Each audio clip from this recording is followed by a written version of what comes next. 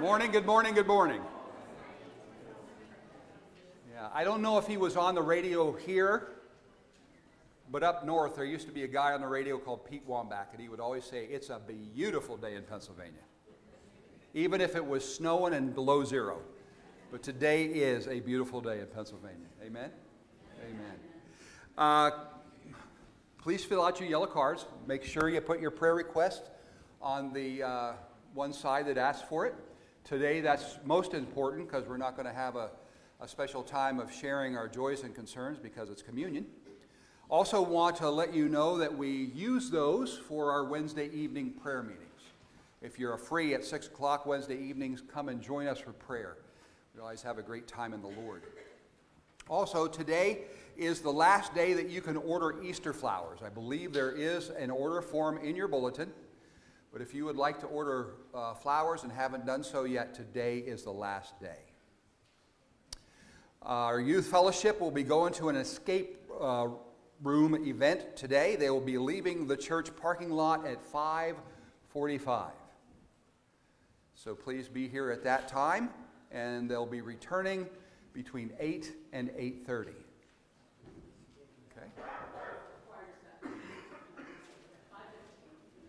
The youth choir will meet at 5:15. Okay. Ministry Council will meet on uh, Tuesday, March 5th. That's this coming Tuesday at 7 p.m. Next Saturday, we will be participating in a United Methodist Family Feud on, uh, at Faith United Methodist Church in Hellam from 6 to 8 p.m. I just was told today that if you are a contestant, you need to be at the church at 5:30. Just be aware of that. Yes, ma'am. I was, because you're generally back there somewhere. yes, that's correct. And it's going to be fun. So come out and watch. Yes. And when the question is, what color's the sky, and I say green, I want you to just go, good answer. Good answer. Um, don't forget to turn your clocks ahead for next Sunday. Our bodies will think it's 5 o'clock and it'll be 6. Um, Men of Zion will meet on that Sunday, March 10th at 8 a.m. Pastor Parish Relations Committee will meet on Thursday, March 14th at 7 p.m. Our March Bible study will be Tuesday, March 26th at 7 p.m. No, we're moving that up two weeks change that date. I'm sorry. Let me get the date. Ta da. There was a time, see, 26th, it'll be the 12th. Bible study on the 12th. Okay, just keep that in mind. We're doing it twice a month now. As, as relate, this has nothing to do with worship. See this thing right here? When I was about 12, my dad and I visited a guy, and we were going to look at his ham radio setup. We were into that. And walked into his house, and he had a studio set up with a TV camera so he could talk to his family in the States. We were in Panama. Could talk to his family in the States while seeing them on TV, and they could do the same thing.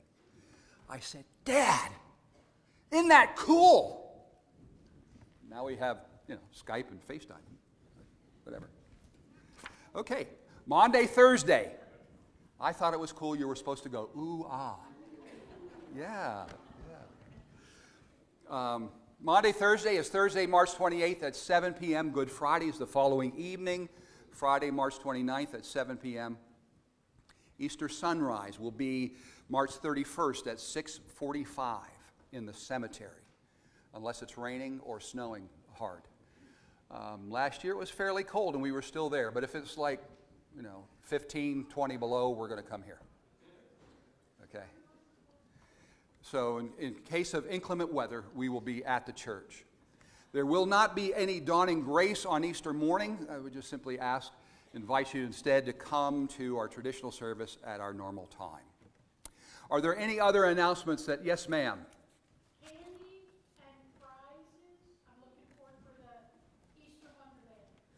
Candy and prizes for the Easter Wonderland. Also, you are invited if you're not working Tuesday morning at 11:30 a.m. to come to the church office. Uh, Tina will be going in for surgery on Wednesday. It's cancer surgery, so, you know, hoping that it's not, it's recover, she's recoverable on this. But um, we're going to meet at 11:30. I'm going to anoint her with oil, lay hands on her, and pray for her recovery. 11:30 Tuesday morning. Um, if you're not working and would like to come and join us. Any other announcements? Yes, ma'am. Aha. There will be a sign up sheet being sent us around um, for Vacation Bible School. I'm not sure what you're looking for. Helpers? Volunteers. Okay. Thank you. Any others? Let's prepare for worship as we listen to the opening voluntary.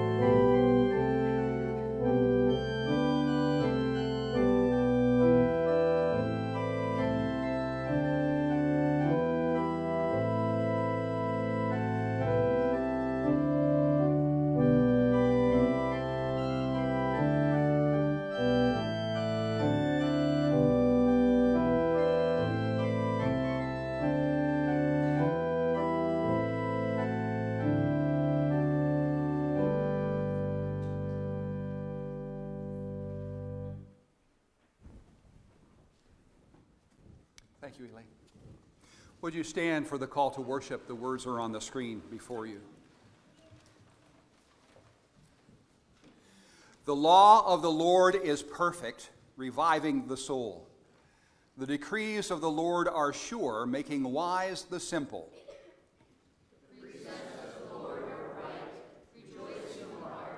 Command of the Lord is fear, enlightening the eyes. The fear of the Lord is pure, enduring forever. The ordinances of the Lord are true and righteous altogether.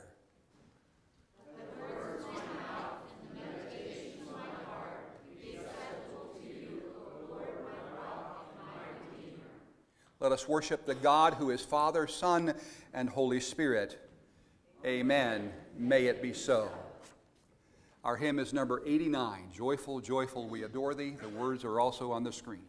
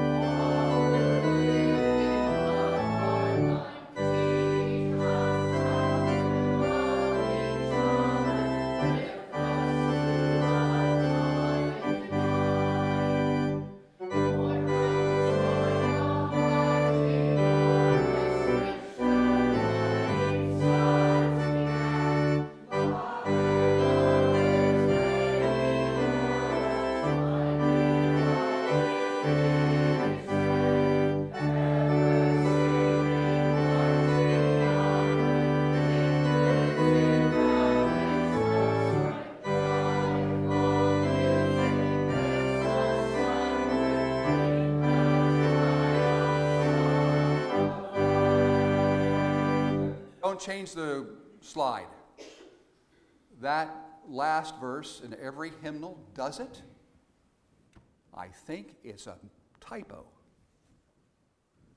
Joyful music lifts us sunward. That should be S O N, and it should be capital S O N. Okay. You may be seated. Now you can change. Call the publishing house right away when you get home. Yeah. Let us pray. O Holy One of Israel, in Christ, you call us to dwell in your favor. We gather to praise you and worship your name. You are the rock that keeps us from falling, the Redeemer who can save us from sin. You set us upon the sure foundation of your commandments. You cleanse us from all unrighteousness through the gift of your Son. Accept our words as we honor your judgment and be pleased with our worship as we respond to the call of Jesus. It is in his name that we pray. Amen. Our psalm of the day is Psalm 19. I invite you to join with me as it is printed on the screen before you. The heavens are telling the glory of God, and the firmament proclaims his handiwork.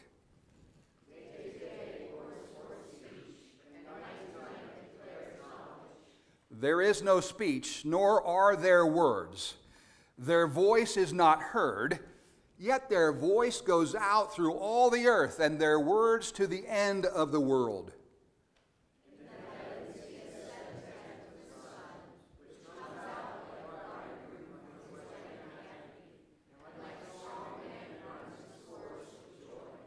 Its rising is from the end of the heavens, and its circuit to the end of them and nothing is hid from its heat.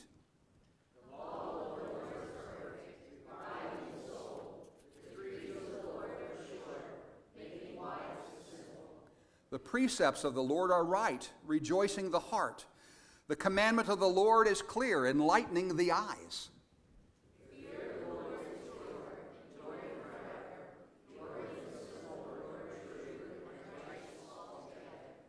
More to be desired are they than gold, even much fine gold, sweeter also than honey and drippings of the honeycomb.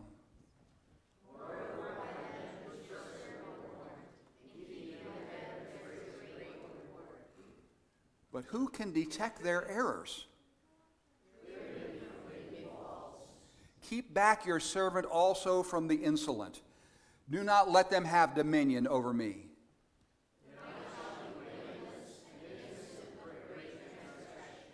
Let the words of my mouth and the meditation of my heart be acceptable to you, O Lord, my rock and my redeemer.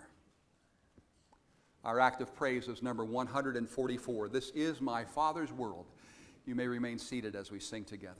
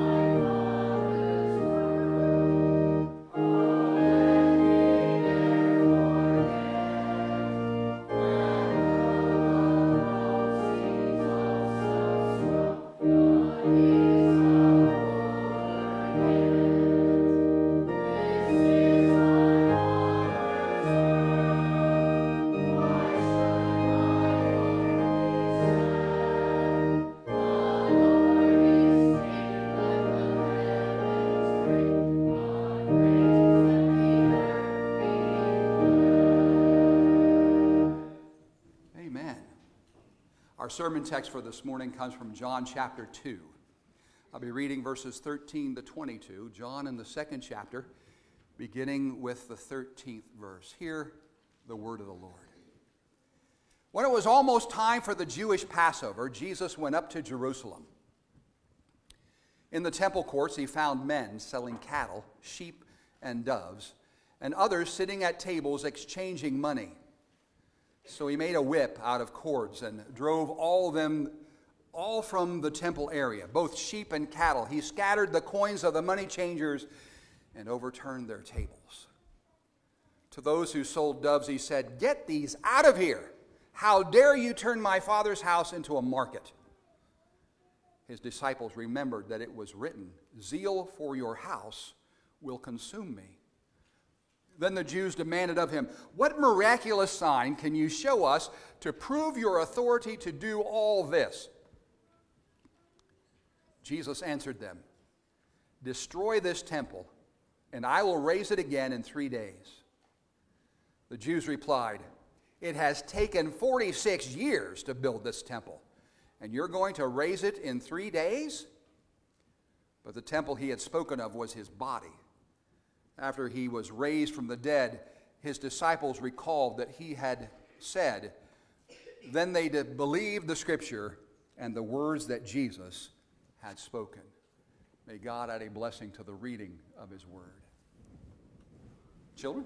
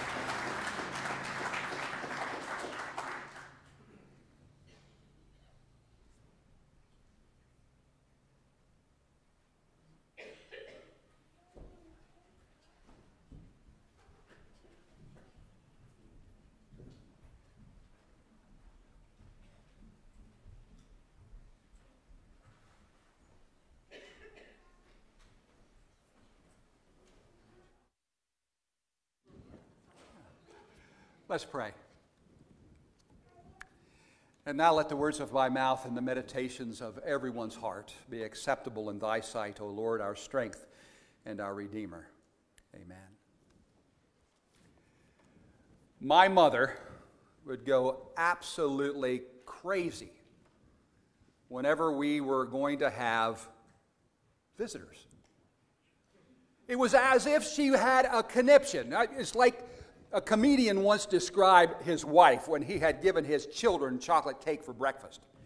He said, when she saw it, her face split wide open and a light shone out that just pierced the eyes. That was my mom when we were getting company. Now, it wasn't that she was mad.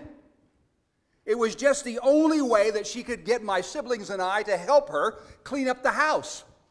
Now, I don't want you to think that the only time mom did any cleaning was when people came to visit. She wasn't a bad housekeeper at all. In fact, it was quite the opposite. However, during those times when we would have someone coming over, she went into this deep cleaning frenzy that none of us enjoyed.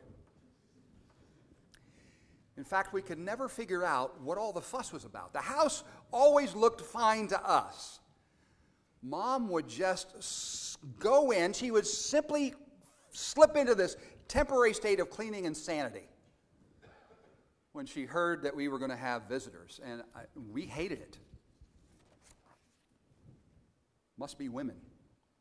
Wanda does the same thing. I'm going to pay for that one. Right here. Right here. Just a joke, Elaine. But you know what's not a joke? It sounds an awful lot like the day Jesus walked into the synagogue. Now, I, things are rarely what they seem, but it seemed to everyone that he had lost his mind. He had somehow made a whip out of some cords that were lying about, and he started to whip the sheep and the cattle until they ran out of the place. Not only that, but he even went up to the tables that the merchants were using, and he took their money jars and emptied them all over the floors, and then turned their tables over. And he began to shout something about his father's house being a house of prayer and not a supermarket. It simply scared everyone to death. They couldn't imagine why Jesus would be yelling about his parents' house while doing that in the temple. And the scribes and Pharisees were livid. In fact, some of the scholars, biblical scholars, believe that this may have been a factor in them going to the Roman government to have him arrested and ultimately executed on the cross. They hated what he was doing, anyways, and this perhaps was a last straw. We, of course, know that Jesus hadn't gone crazy at all. He wasn't ranting about Mary and Joseph's house while disrupting things in the temple. Jesus was talking about the house of Almighty God. What we may not know, however, is the backstory behind what Jesus was doing that day. Do you remember the opening verse of our scripture lesson? It reads The Passover of the Jews was near, and Jesus went up to Jerusalem. Passover was that time of the year when Jewish people would celebrate their freedom. They would remember the time when God rescued them from a life of slavery, bondage, and poverty at the hands of the Egyptians. It was a time they remember that God had rescued them from that life of slavery and had uh, set them up as a people of freedom in the promised land.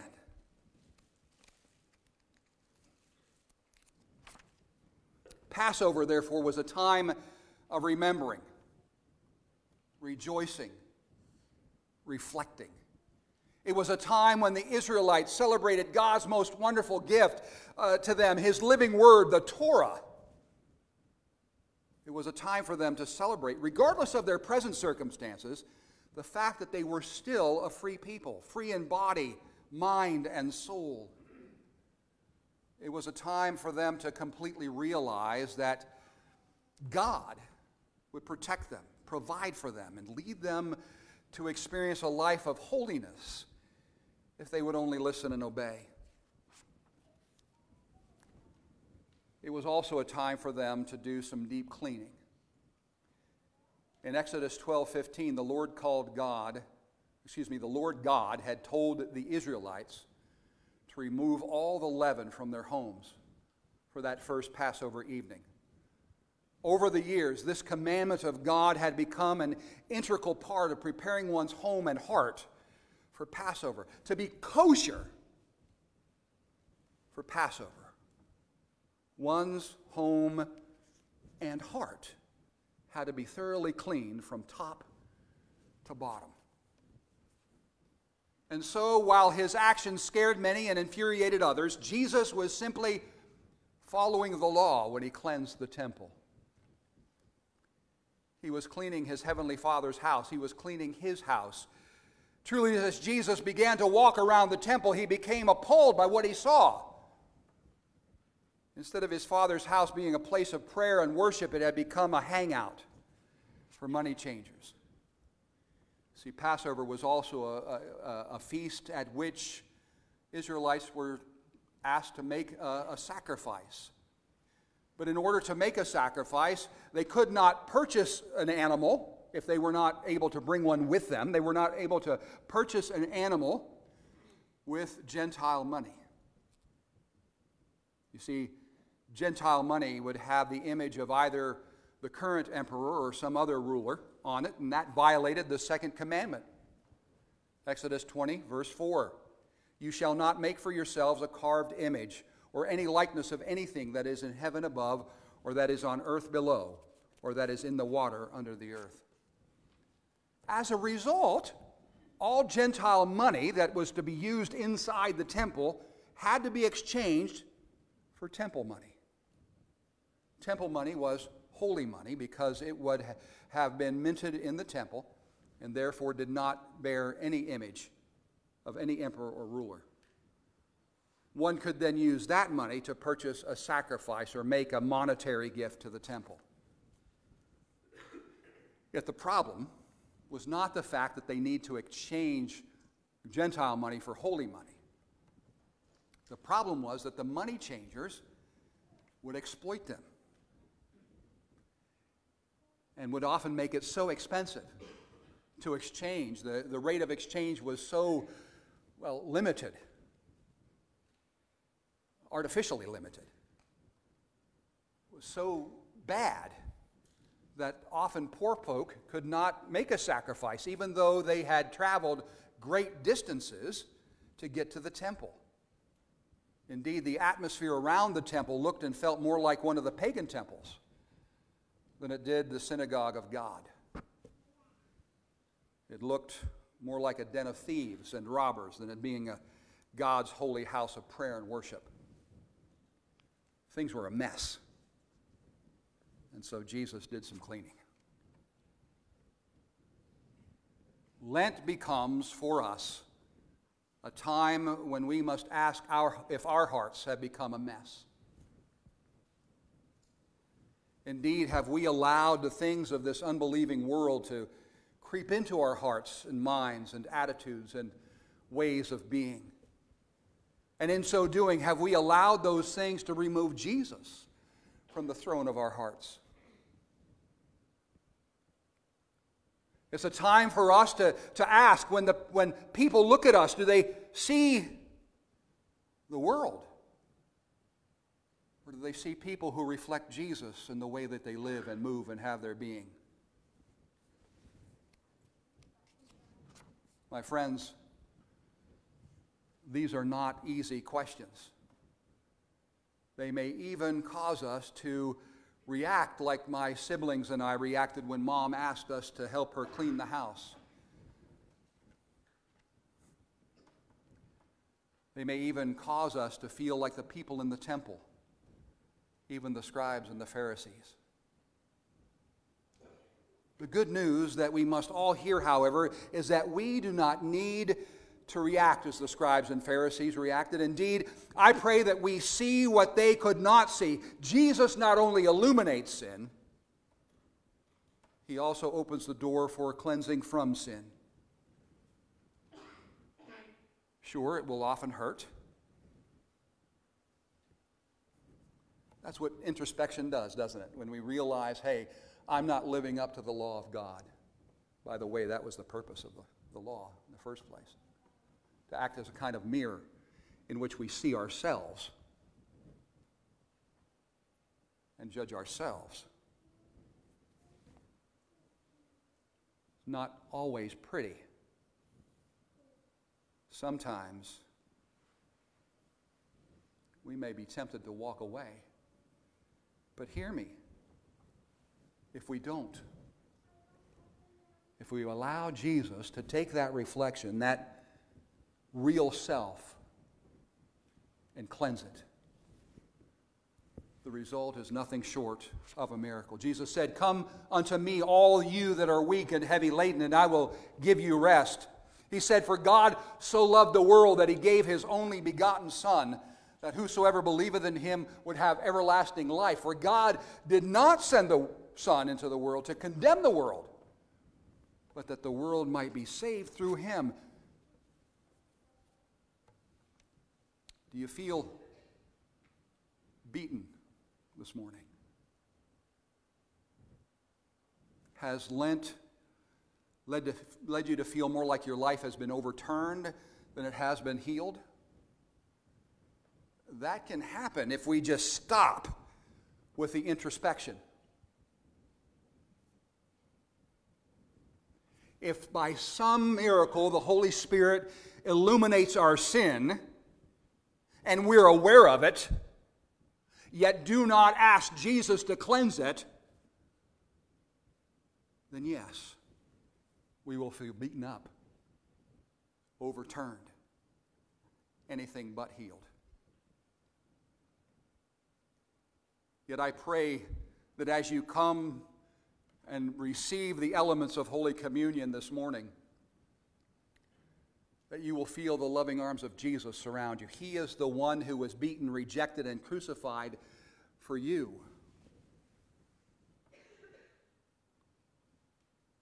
He is the one who's saying to you personally, Come. Come that you might have life and life eternal. See, even though the scribes and Pharisees couldn't get their mind around it, Jesus would die. And while we do not want to, you know, be too hasty in getting there yet, on the third day, Jesus did raise to life again. Thereby guaranteeing that all those who believe on him will have everlasting life.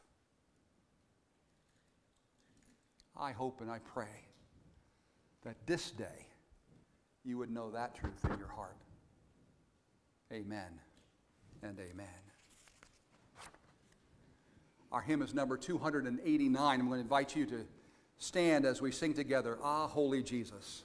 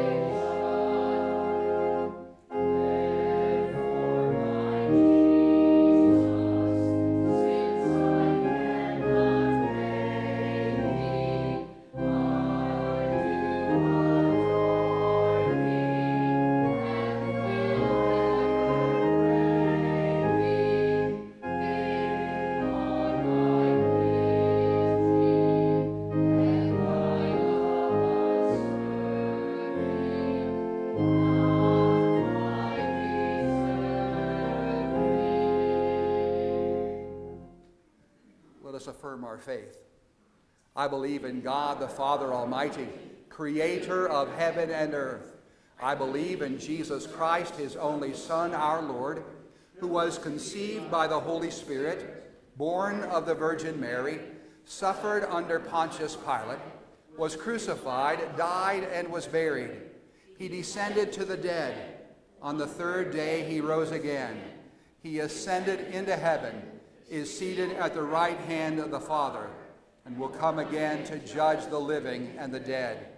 I believe in the Holy Spirit, the Holy Catholic Church, the communion of saints, the forgiveness of sins, the resurrection of the body, and the life everlasting. Amen. Please be seated.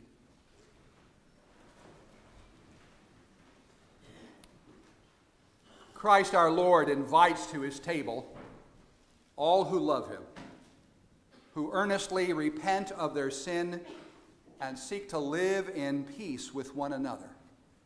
Therefore, let us confess our sin before God and one another before we pray. One of the things that liturgy does is it becomes rote memory. And when it becomes rote memory, it's easy for us to just go through the motions read the words just to get through it. Probably not the attitude with which we have come to church, but is a danger that we all have.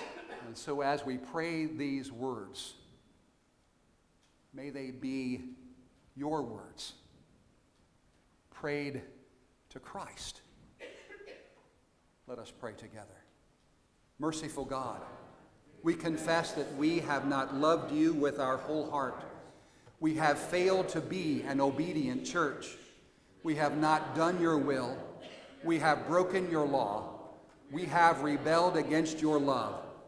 We have not heard and have not heard the cry of the needy. Forgive us, we pray. Free us for joyful obedience through Jesus Christ our Lord. Amen. And now hear the good news. Christ died for us while we were yet sinners. That proves God's love toward us. In the name of Jesus, you are forgiven.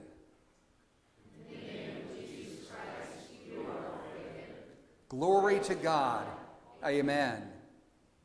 As forgiven and reconciled people, let us offer ourselves and our gifts to God. Would the ushers come?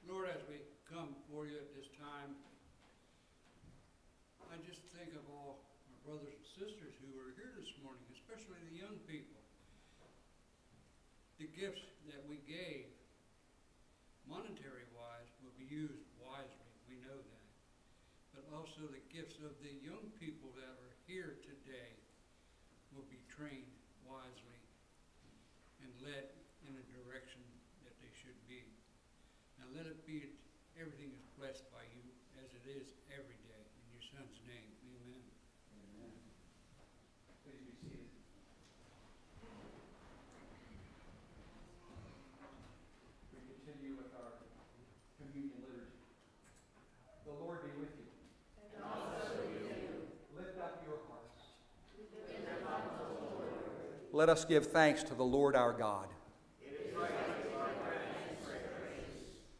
It is right and a good and joyful thing always and everywhere to give thanks to you, Father Almighty, creator of heaven and earth. You made us in your image and made all things good. But because of our disobedience, we have often found life to be hard and full of drudgery. Indeed, life loses its meaning when we turn away from you. In our melancholia, we find life to be like an endless night and yet you call us back to life, back to yourself. You lift, uh, lift us from the bonds of our depression and offer our hope. And so, with your people on earth and all the company of heaven, we praise your name and join their unending hymn. Holy, holy, holy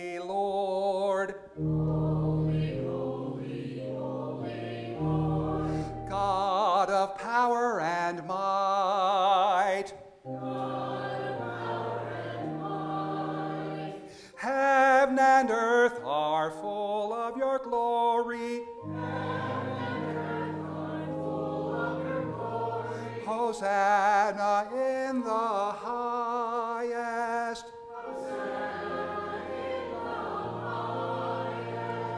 Blessed is he who comes in the highest. Blessed is he who comes in the name of the Lord. Hosanna. In the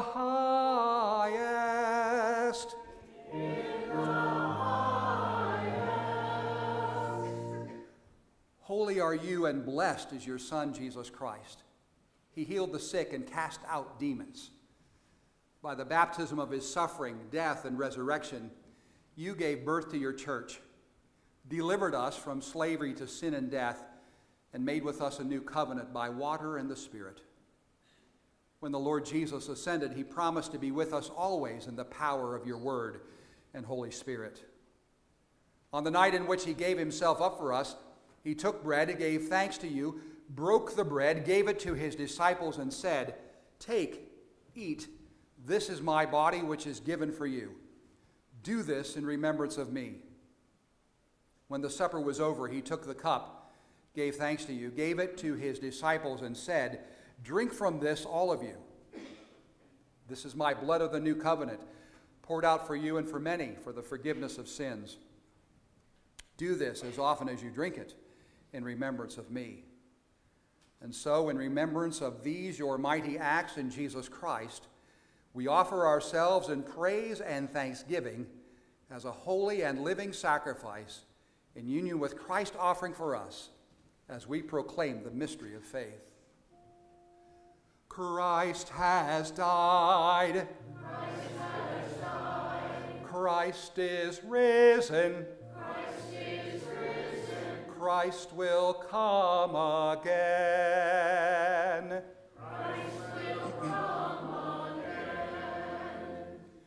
Pour out your Holy Spirit on us gathered here and on these gifts of bread and juice. Make them be for us the body and blood of Jesus Christ, that we may be for the world the body of Christ, redeemed by his blood. For we have been commissioned to preach your word through our words and actions until the world bows at the name of Jesus and every lip proclaims that you are Lord. By your Spirit, make us one with Christ, one with each other, and one in ministry to all the world until Christ comes in final victory and we feast at his heavenly banquet. Through your Son, Jesus Christ, with the Holy Spirit and your holy church, All honor and glory is yours, Almighty Father, now and forever. Amen. Amen.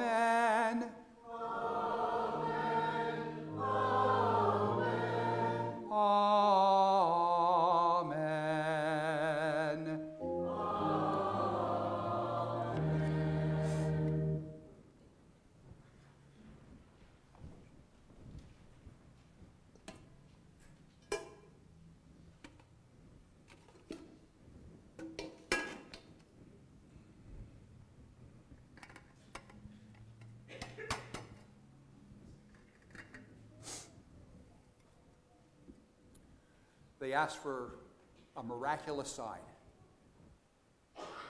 I get it. It'd be neat if we could have something tangible to grasp onto. Jesus said, Tear this temple down, and in three days I will rise it up again.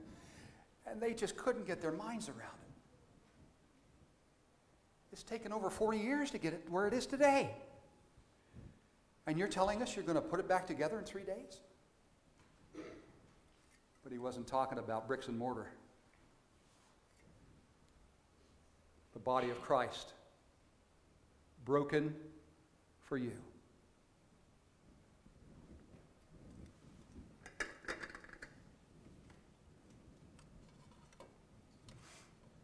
They were angry. And yet, the only one who had a right to be angry would say, I do this. I, I love you. The blood of Christ poured out for you and for many for the forgiveness of sins.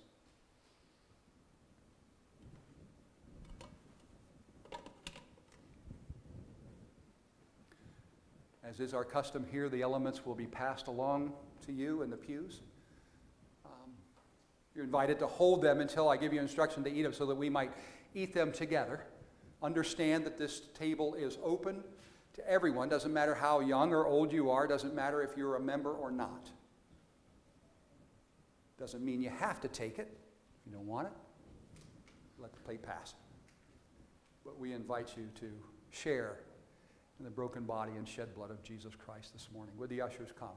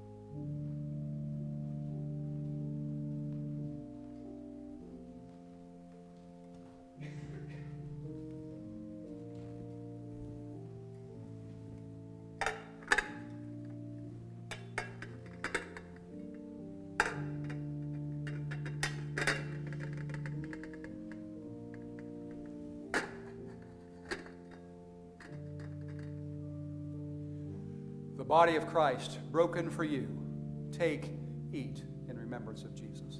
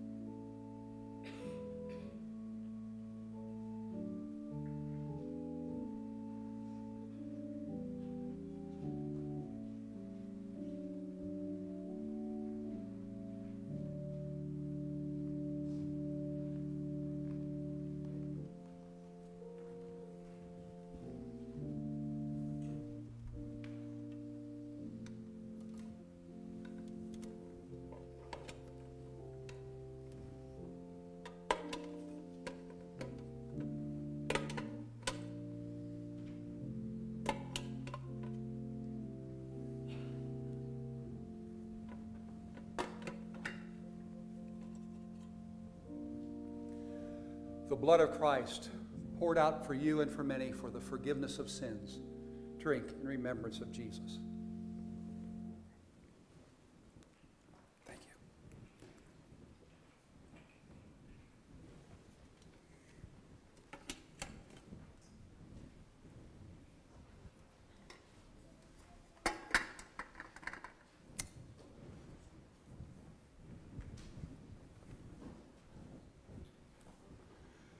Let us pray. Eternal God, you give, we give you thanks for this holy mystery in which you have given yourself to us. Grant that we may go into the world in the strength of your Spirit to give ourselves for others. In the name of Jesus Christ our Lord. Amen. Our sending hymn is number 671. Would you stand as we sing together? The words are also on the screen. Number 671.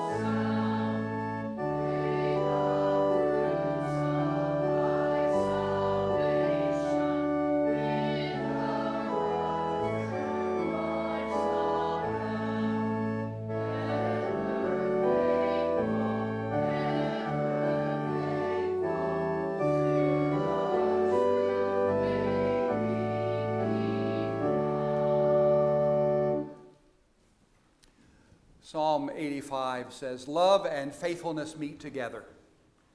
Righteousness and peace kiss each other. As we go forth today, may we go in love, in faithfulness, in righteousness, and in peace. Amen and amen.